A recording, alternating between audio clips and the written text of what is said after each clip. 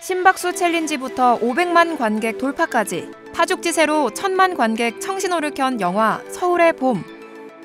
이 영화 흥행의 중심에는 전두광 역의 황정민 씨가 서 있습니다. 실패하면 반역, 성공하면 혁명 아닙니까? 매 작품마다 늘 자신의 연기를 넘어서며 흥행작과 명작을 탄생시키는 배우. 황정민이 황정민을 넘어선 순간의 발견. 스타 인생작에서 확인합니다. 1979년 12월 12일 서울에서 일어난 신군부 세력의 군사 반란과 이를 막으려는 사람들의 숨가쁜 그날 밤의 9시간을 그린 영화 서울의 봄. 인간이라는 동물은 아니나 강력한 누군가가 자기를 리드해 주기를 바란다니까. 아이고 이 장군님. 뭐 이런 어려운 시국에 서로 같은 편 하면 대한민국 육군은 다 같은 편입니다. 와 그렇습니까? 실패하면 반역, 성공하면 혁명 아닙니까? 황정민 씨는 권력욕으로 군사 반란을 일으키는 신군부의 핵심 인물 야방의 전두광이 됩니다. 세상이 다 아는 특정 인물을 극화시킨 그는 어느 때보다 강렬한 변신을 보여주죠. 시나리오 안에 모든 것들이 다 정답이 나와 있으니까 그 안에 철저하게 분석해서 그 인물의 전도광이라는 인물을 제가 만들어낸 거고요. 특히 파격적인 헤어스타일이 공개된 후 미친 존재감이라는 반응과 함께 시선 집중.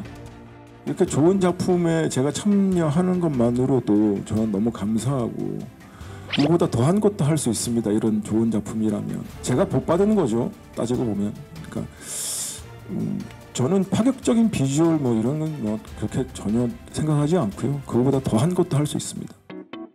촬영마다 4시간에 걸쳐 탈모 헤어 분장을 하고 그 사람에 빙의한 황정민 씨.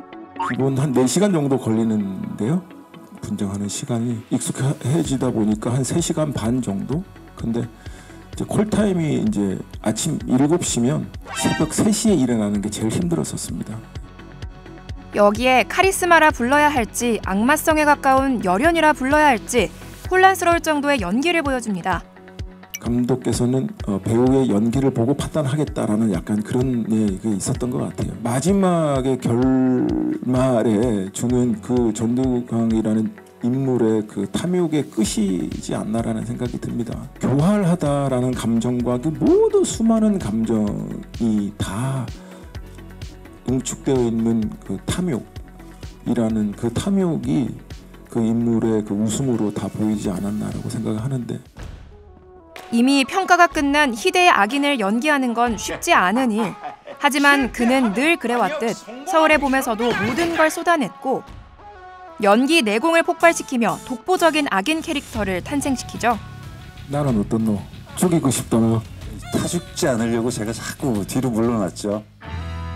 대한민국 최대 범죄 조직에 잠입한 형사와 그를 둘러싼 경찰과 조직, 세 남자 사이의 음모, 의리, 배신을 그린 영화 신세계. 우리 브라더는 딱 이 형님만 믿으면 돼야. 계획대로 프로젝트는 계속 진행된다. 하다못해 저 깡패들도 날 믿고 따르는데 너희들은 왜 날 못 믿어? 야 브라더. 내가 이 우리 브라더한테 미안한 부탁을 해왔으면 이 안에는 껄렁함과 살기가 몸에 밴 조직 폭력배 2인자 정청, 황정민 씨가 있었습니다. 남자들 얘기니까 말캉말캉한 뭐 사랑 얘기가 아니 아니어서. 예, 되게 그 직선 도로를 달리는 듯한 느낌이라 그래서 제가 선택했던 것 같고 경계랑 유지경님하고 같이 작업을 한다라는 게 제 인생에서 이런 게 있을까? 최민식, 이정재, 황정민, 스타 배우 캐스팅으로 주목을 받았지만 관객들 뇌리에 무엇보다 깊이 각인된 것은 황정민 씨의 연기였죠. 정청이라는 인물 자체가 아주 묘하죠. 네. 그래서 그거를 표현하는 데 있어서 한 길로 가기보단 여러 갈래 길을 좀 두고 싶었고 카멜레온처럼 변할 수 있는 그런 인물이었으면 좋겠다.